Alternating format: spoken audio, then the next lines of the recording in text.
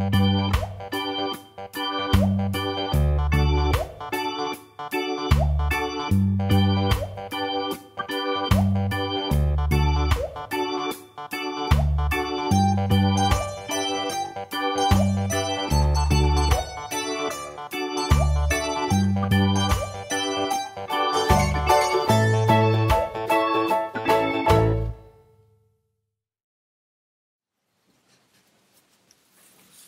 Hi there, good morning and welcome back. Today we're going to be reading Can't You Sleep, Little Bear by Martin Waddell, illustrated by Barbara Firth. Walker Book. Can't you sleep, little bear?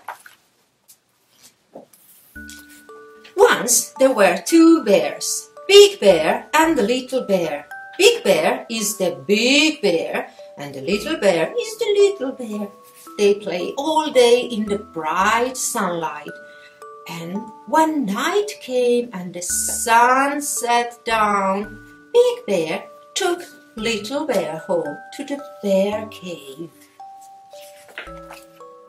Big Bear put Little Bear to the bed in the dark part of the cave. Go to sleep, Little Bear, he said, and Little Bear tried. Big Bear settled in the bear chair and read his bear book by the light of the fire. But Little Bear couldn't get to sleep. Can't you sleep, Little Bear? asked Big Bear. I'm scared. Why are you scared, Little Bear? I don't like the dark. What dark? The dark all around us, said Little Bear.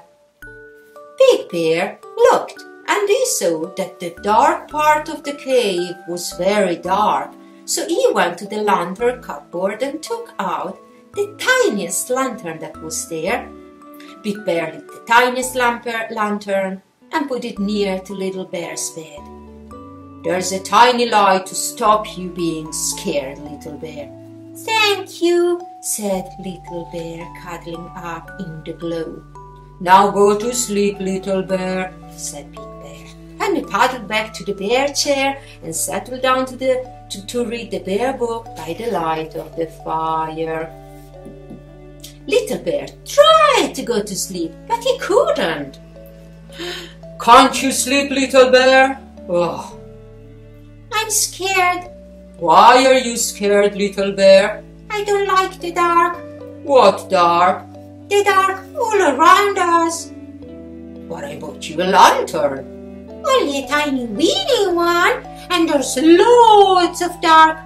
Big Bear looked, and he saw the little bear was quite right. There was still loads of dark. So Big Bear went to the lantern cupboard and took out a bigger lantern. Big Bear lit the lantern and put it beside the other one. Now go to sleep, little bear, said Big Bear, and he paddled back to the bear chair and settled down to read the bear book by the light of the fire. Little Bear tried and tried to go to sleep, but he couldn't. Can't you sleep, Little Bear? I'm scared. Why are you scared? I don't like the dark. What dark? The dark all around us. But I bought you two lanterns, a tiny one and a bigger one. Not much bigger, and there's still loads of dark. Big Bear thought about it and then he went to the lantern cupboard and took out the biggest lantern of them all. I've bought you the biggest lantern. That's to stop you being scared. Thank you, Big Bear.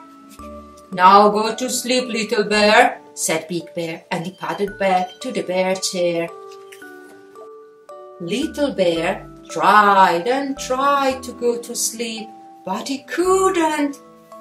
Can't you sleep, little bear? I'm scared. Oh, why are you scared, little bear? I don't like the dark. What dark?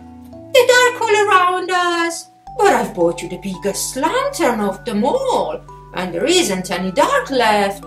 Yes, there is. there is out there. And he pointed out of the bear cave of the night. Big Bear saw that Little Bear was right. Big Bear was very puzzled. All the lanterns in the world couldn't light up the dark outside. Big Bear thought about it for a long time and then he said, Come on, Little Bear.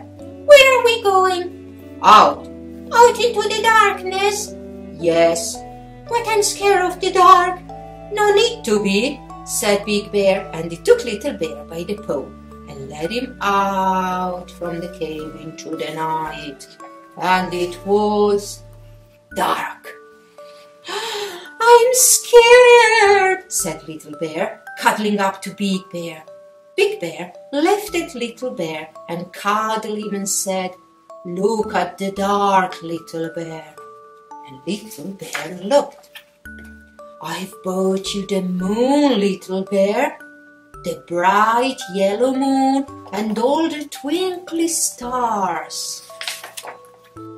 But Little Bear didn't say anything, for he had gone to sleep, warm and safe in Big Bear's arms.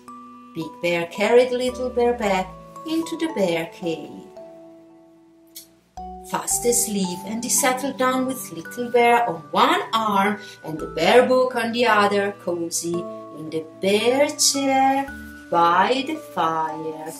And Big Bear read the bear book right